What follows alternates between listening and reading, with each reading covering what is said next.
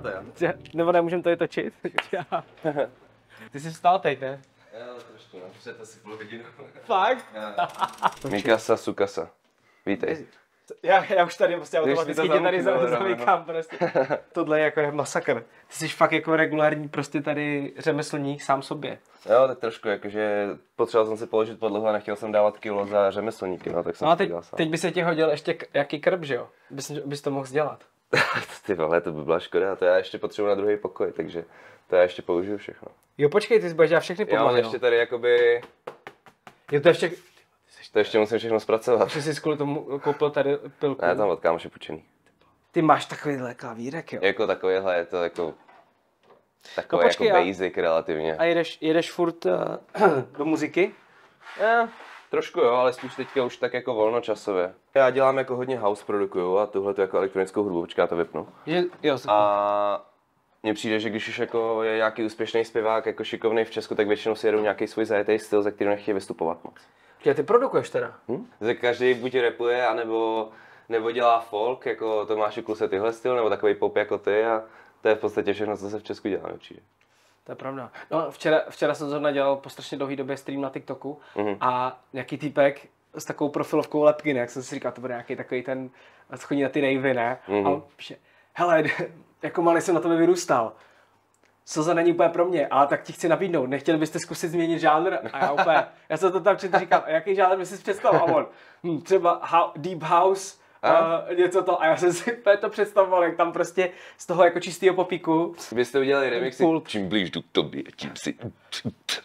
A tak mohlo by to být jako, Já že... ti udělám remix a můžete to pustit někde na konopišti nebo tak, až bude udělat jeden takový track, prostě jenom jako, že, Jako prostě recesi. jako recesi, že prostě to úplně taky vykolej ty lidi, ne, že prostě z ničeho nic najednou prostě uc, uc, uc. A fakt jako drop, víš to tam dát prostě.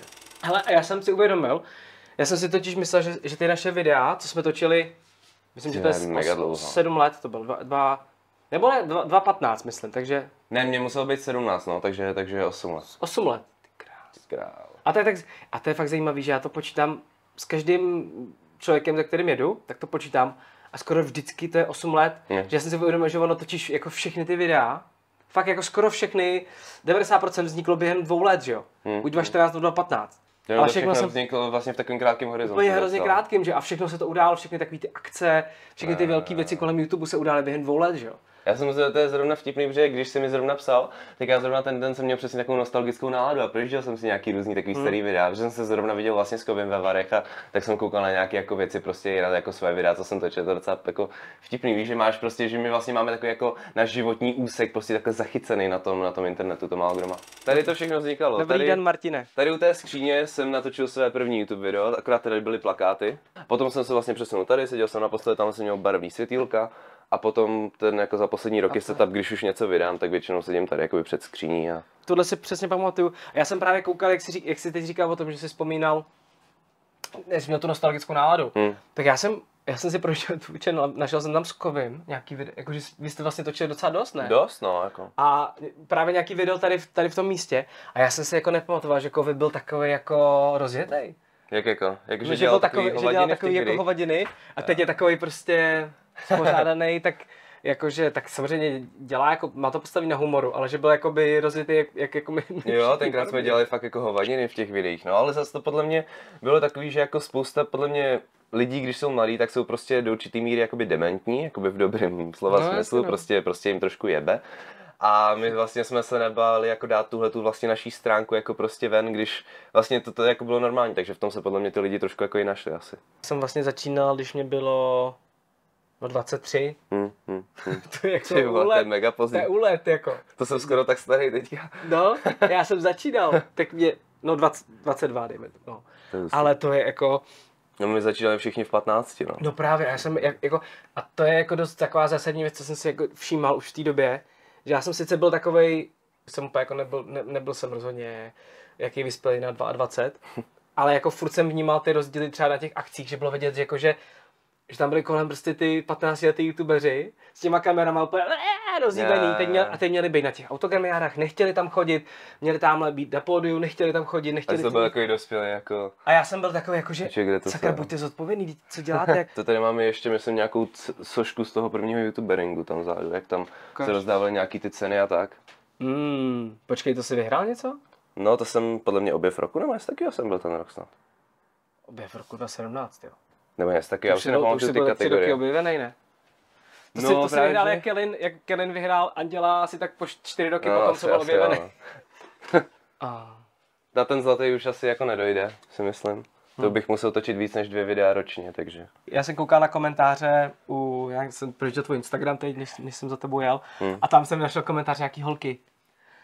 Martine, ty hrozně cestuješ, neměl by si jako taky točit nějaký video, já tě totiž sleduju, teď z toho máš peníze, tak sakra toč. A já jsem si říkal, a nevydal si, nic, nevydal si nic, nevydal si nic půl roku.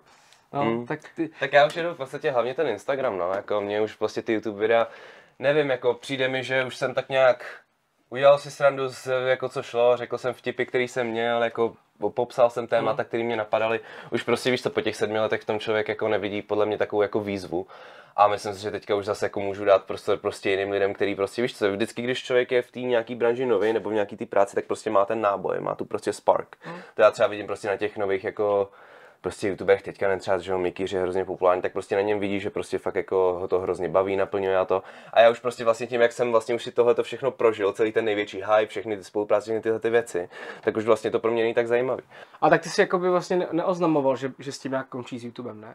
Ne, tak jakože Bůh ví, jako třeba jednou přesně za rok takhle mě něco popadne a budu mít chuť jako natočit nějaký video, takže vysloveně. No to byl právě důvod, proč já jsem jako neoznámil nikdy konec Hogiho jako takový, protože jsem si furt říkal, že, že se mi líbí ta postava a že se dá různě jako Hmm, tvarovat. hmm, I proto jsem hmm. tehdy, já jsem pak jeden čas, nebo syrovku se jsem dělal takový skeče, Hmm. který byl jako strašně náročný produkčně. Hrozně peněz jsem do toho dal, protože Hmm. jsem tam fakt měl jako celý štáb lidí. Mhm. Vymýšlel jsem to hodiny, jako jsem strávil, od, prostě jaký minifilmečky jsem dělal.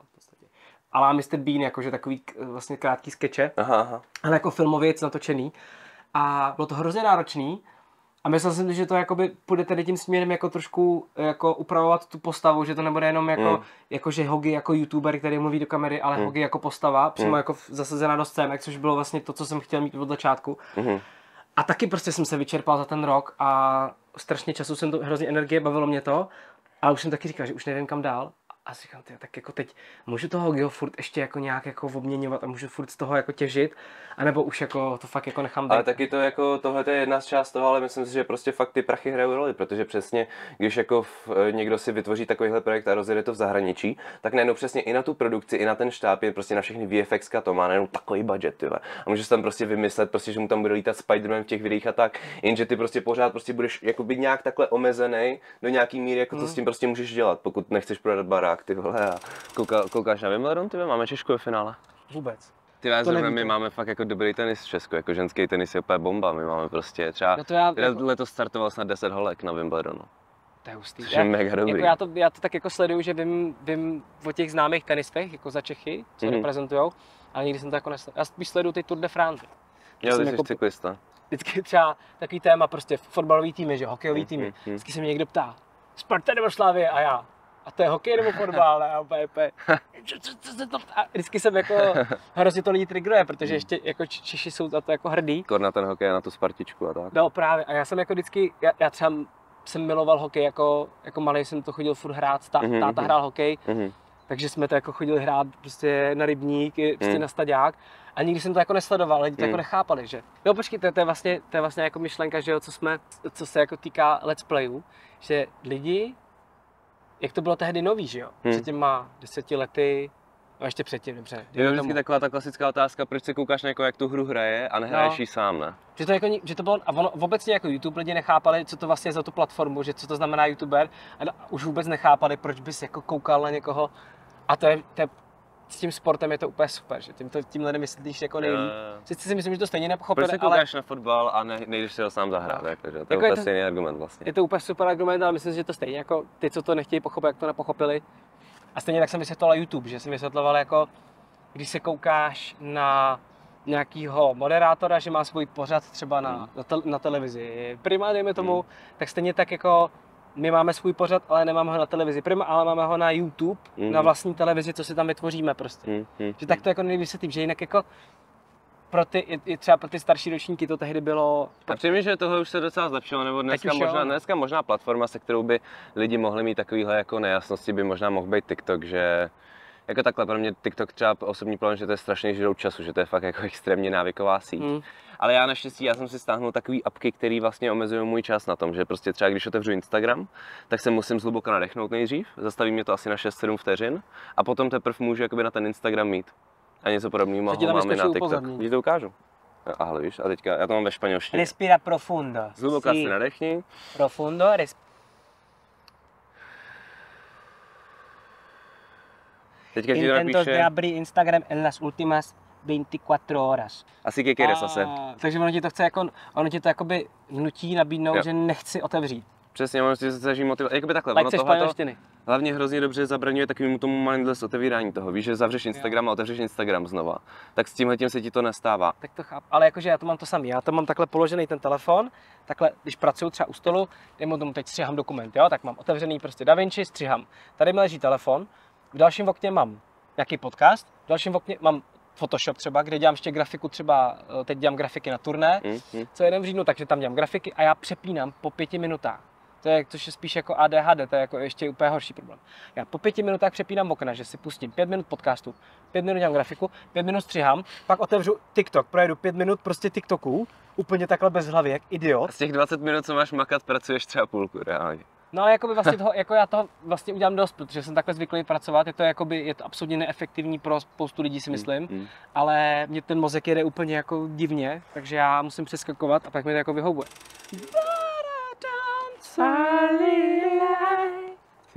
What so proudly we have. Strašně random prostě. Úplně tady uh, američtí patrioti. Mega. Uh, ale Ten jakože, Oreo bělohlavý tady teďka proletí. Jakože- musím říct, že ta americká hymna je fakt pěkná. Jo, je moc hezká. Že, a ještě mě překvapila, já jsem někdy teď koukal, to jsem měl taky takový to, jak, eh, znáš to takový to, jak uh, ty studnice YouTube, že vždycky je nějaký jako téma na YouTube. A ty se proklikneš na nějaký video a pak tě to tam drží a ty Jo, se proklikáš. A já jsem se takhle dostal prostě na videa, jak lidi zpívají hymny, že jo, různých, z různých zemí. A pak tam bylo jako, jakože, eh, jakože top tier, prostě uh, Anthems. rating prostě en, uh, ty, no přesně. A, a, a, tam bylo jako, že number one bylo nějaká evropská, jestli bylo jaký Švýcarsko, něco takového Mhm. jako nečekaného a fakt to bylo úplně jako banger hrozný. A já úplně yes. Co dělá ty vole Petě ve tři ráno, ty vole. Ale prostě, To švýcarská "Dead hymna. of můj, To je stejně nejvíc můj." prostě, to tě zasáhne tady. Tak. A počkej, musíme se vrátit k topiku, jen jsme, se úplně, jsme úplně utekli. Právě jsem se smál, s, tebou bude 9 bodusů na Hero Hero, vole, protože tam budu mít.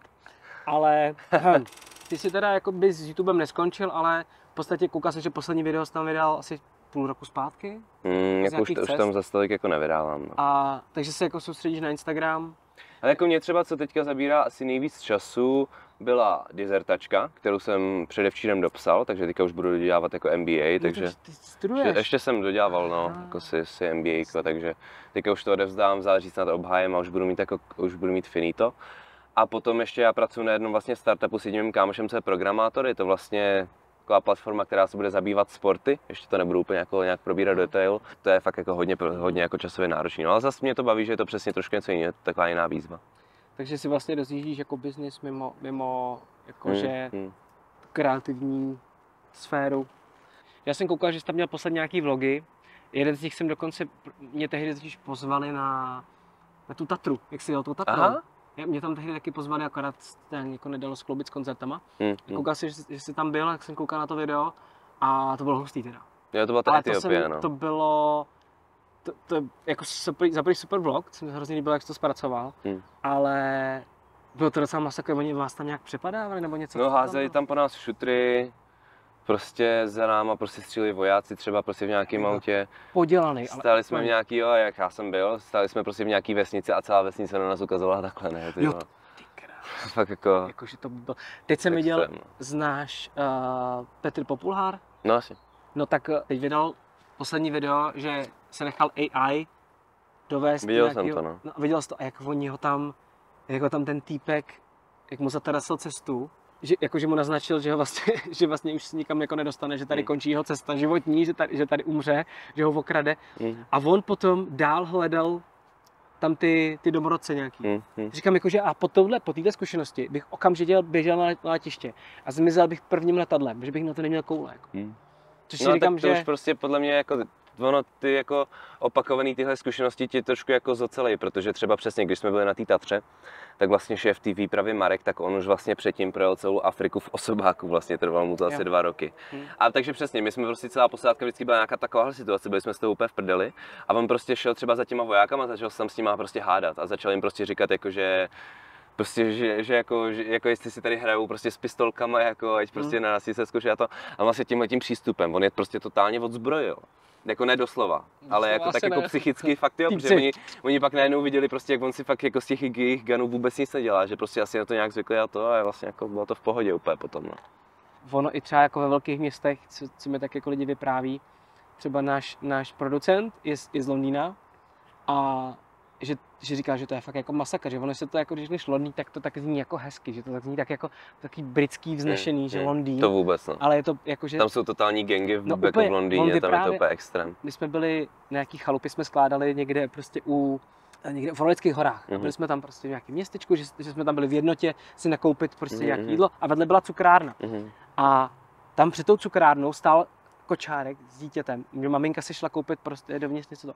A on to viděl a úplně se zhrozil a takhle říkal, baby, říkal, "Who- říkal, who's the baby? A já říkám, no nevím, tam asi pravděpodobně nějaká maminka tam šla do... A on, ona nechala tady dítě a byl z toho úplně vyřízený. Já jsem ale nechápal, to mi přijde taky divný teda osobně, jako že říkal- nechá děcko před supermarketem. To to přijde normální? no, před, před cukrárnou, Jo. kde prostě byla reálně jako dva metry od toho dítěte, Jo, jenom, ok, jenom ok, přes výlohu, ok, že jo. ok, ok, tak to Jako jo, hned, tak to. Já myslím, bylo že to byl to- nějaký větší space. Bylo to ok. prostě v obci, kde je to obyvatel Jo. a prostě na tom náměstí nebyl nikdo, že jo. Hmm. Bylo to prostě v nějaký vesničce. Ok, a on to, to, byl to jakoby úplně vyřízený, že říkal, že tohle kdyby udělal v Londýně, tak to dítě vydrží pět vteřin.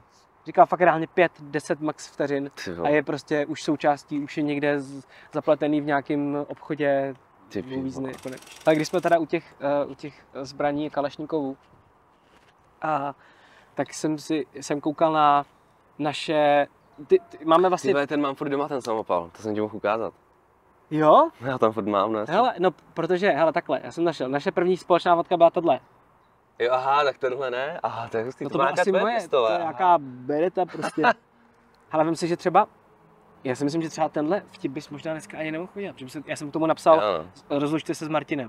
To by rozlučte se- Instagram cancelled prostě. Já bych byl úplně vykancelovaný. A vlastně tohle je, tohle bylo 2.15, dejme tomu něco takového. Měl bys A- shadowban už rovnou. Jo. To všechno. no. Jako ono to tam na Instagramu furt je, ale nějak to je v poj... Ale ono vlastně se to týkalo, že obě ty naše videa, jestli si to pamatuješ, byly o tom, že první bylo, že ty, u mě bylo, že ty jsi mě přepad.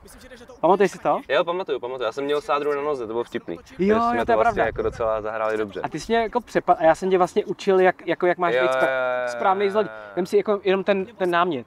Já tě učím, jak máš být správný zloděj, jak máš přepadávat lidi. A jako byl to samozřejmě humor, je to prostě, ale jako v dnešní Jo, ale době dneska je to bych- tak strašně politicky korektní, všechny ty platformy, že už jako Já bych si úplně- minimálně by to určitě nebylo zmonetizovaný. No Ne- krev, kámo, tak to vůbec, jako víš co. Tyjo, já jsem tam dal mé To úplně, prostě krev. To ti muselo trvat mimochodem docela dlouho, asi takový efekt. jo. To tam naframeovat. i to druhý video, co jsme dělali u, počkej, u tebe, to bylo teda hodně krát, a taky tam byly ty zbraně, že ty se na mě vytáhl tu zbraň. Jo, je ten samopal, no. Ten samo- To je to- ten, co mám.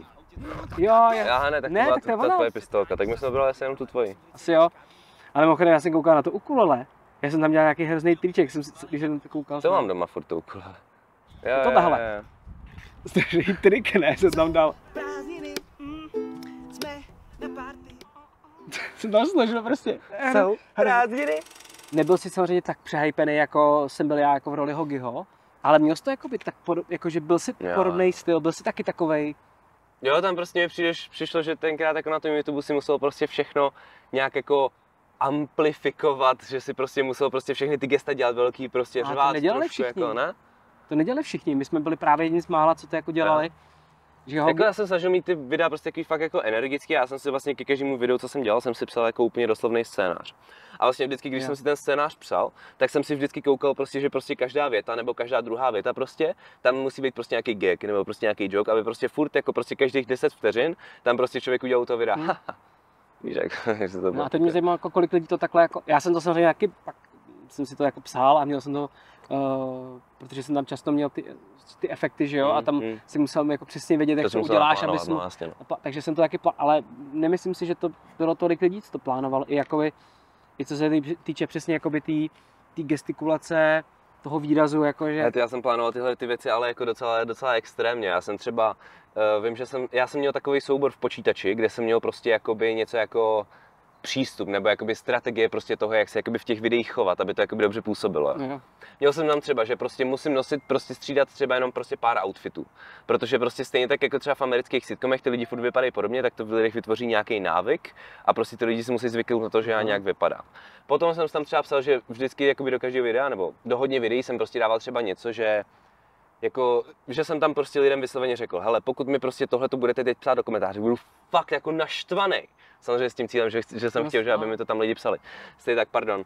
Prostě potom třeba, nevím, jestli si to ještě pamatuješ, ale já když jsem začínal, tak bylo docela populární, jako by mi říkali, že jsem Martin z kanálu, jmenuji se Martin. No, To prostě bylo takový, jako, že to všichni jak, tak jako nějak jako znali, Martin z kanálu, jmenuji se Martin.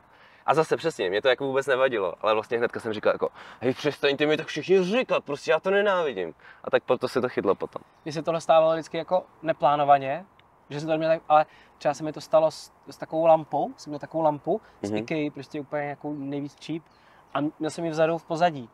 A jednou někdo, mi, oni mi posílali lidi takové otázky, bylo takový to Q&A Hmm. a já jsem to Q&A dělal jinak, jakože jsem neodpovídal na osobní otázky ze života, ale dělal jsem to vždycky do vtipu, že jsem prostě, že se mě zeptali, hraješ třeba učíš se na klavír, když jako máš rád zpěv a já jsem udělal vtip, že na mě spadl klavír a rozmáčknul mě. Takovýhle jakoby gigy, že.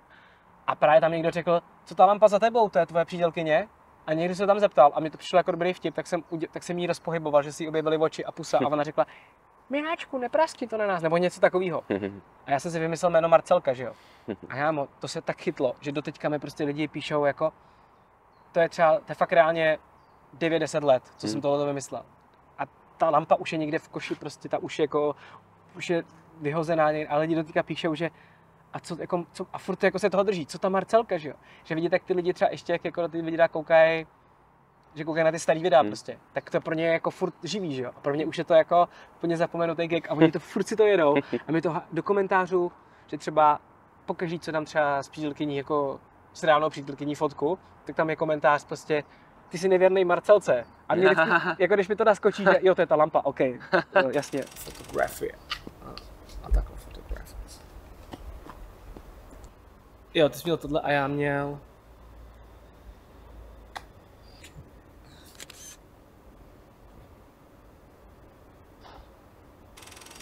No hele, tak ti děkuji, Já děkuji eh, tobě, že jsi přijal mé pozvání. brachu. uh, brachu.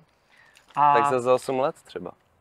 to snad dřív a až budeš mít nějakou cestu do nějakých afrických zemí, budeš potřebovat nějakýho chábra, uh, ti pomohu rozhánět kalešníkovi, tak řekni.